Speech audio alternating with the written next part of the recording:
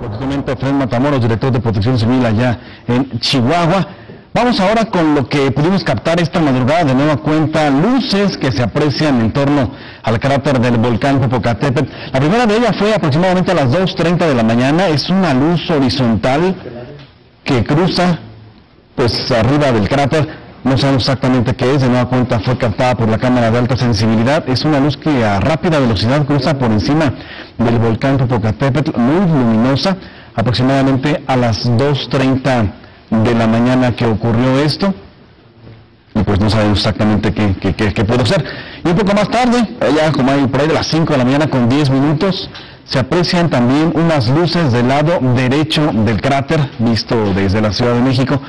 y se ve una luz que prende y apaga, pero va cambiando de lugar, está un poco más distante hasta que termina prácticamente en la punta del cráter del Popocatépetl, esto aproximadamente a las 5 o 5.10 de la mañana